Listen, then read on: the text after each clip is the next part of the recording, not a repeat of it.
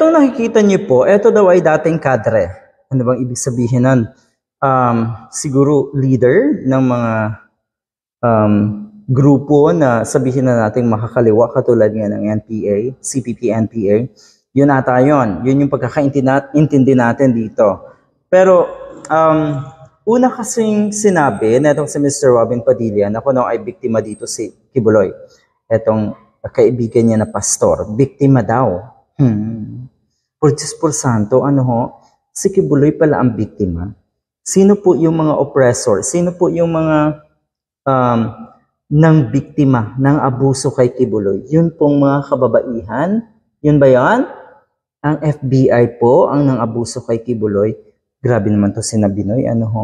Biktima daw dahil noong mga panahon, uh, si Kibuloy lang daw ang lumalaban sa NPA, CPP-NPA.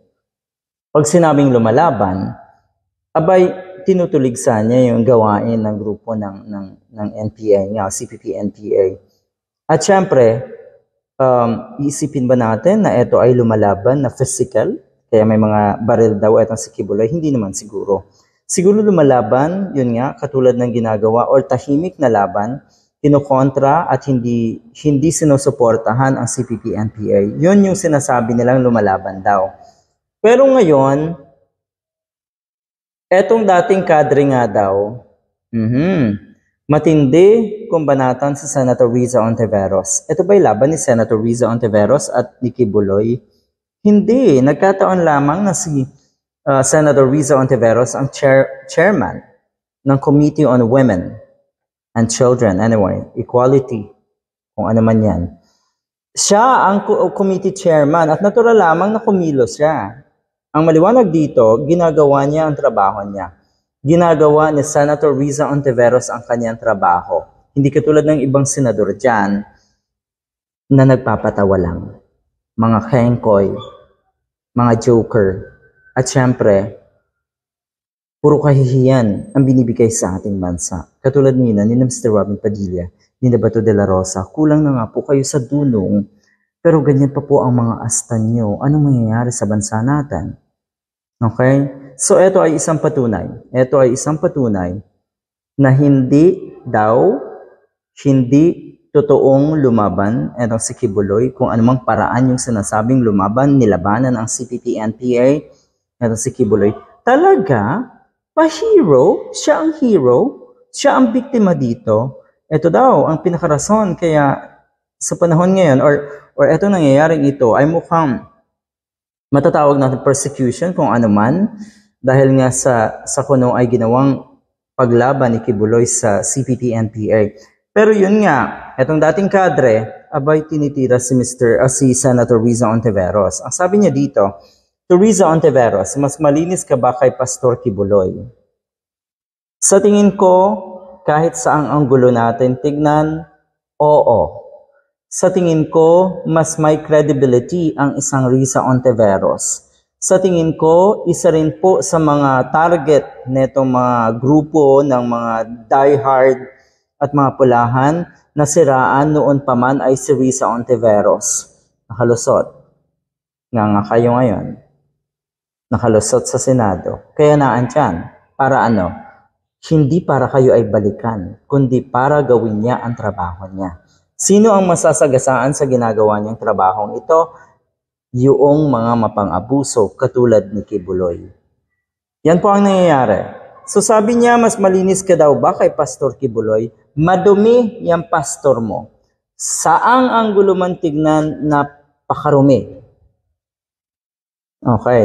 Scammer nga daw eh, sabi ni Riza Ontiveros. Kung ito ay ngayon lang, kung ito ay noong isang araw lang lumabas yung mga ganitong issue, magdududa ka pa eh. Kung may track record itong si pastor o itong tinuturing yung pastor na ito na pagtulong sa kapwa, kung nauna yung maganda niyang record at biglang may sumulpot na mga nagreklamo, magdududa ka eh. Pero ilang dekada, ilang taon na po na mayat maya ay naandyan yung mga nagrereklamo na dati niyang miyembro nagrereklamo ng pang-aabuso. At kaya nga po siya may mga kaso sa US, most wanted. Tapos sasabihin nyo, protect Kibuloy, resign Riza Ontiveros. Ano yon? Anong sabi? Mr. Robin Hood, ito ang patunay na si Pastor Kibuloy mo ay hindi kaaway ng mga NPA. Hindi lumaban. Ibig sabihin, pinagtatanggol pa siya ng dating kadre laban kay Honorable Riza Ontiveros. Maganda pakinggan talaga nalagyan natin lagi ng Honorable. Dahil nakikita natin na kumikilos ano, si, si Riza Ontiveros. Yun na nga eh. Sa mundo na puro Robin Padilla ang nakikita natin pali, sa paligid natin, magpaka-Riza Ontiveros tayo. Magpakabuti tayo, gumawa ng tama, at sundin at igalang ang proseso ng batas. Kaya itigil mo na ang pagyayabang mo na savior, si pastolero mo laban sa NPA. Savior daw. Yan yung sinasabi ni Padilla na kung ay biktima siya at yun, yung tipong pa-hero etong, etong si Kibuloy. May napanood tayong video ni Kibuloy, ano ho, nananawagan siya na magkaisa daw ang mga kababayan natin. Magkaisa? Saan? Anong tingin mo sa mga kababayan mo? Anong tingin mo sa mga Filipino? Anyway, hindi kayo mga Filipino ha. Hindi ko nakikita Filipino etong mga katulad ni Nakibuloy, ni Robin Padilla at ng iba pa. Bakit? Sa madalas kong sabihin, eto, iilan. Kami lang, sige, wag kayo, wag na wag kayong makikisaw-saw, wag kayong makikisali na kayo yung mga Filipino citizen. Dahil hindi kayo mga Pinoy sa mga gawi, sa isip, at lalong-lalo na po sa pananalita niyo. Hindi kayo mga Pinoy, hindi kayo mga Filipino citizen.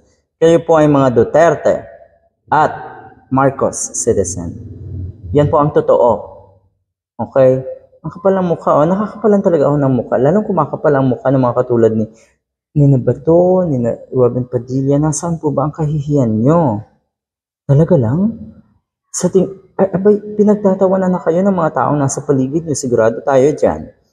Mga taong nasa paligid nyo na nag-iisip ng tama at may dunong. Pinagtatawanan na talaga. Good luck!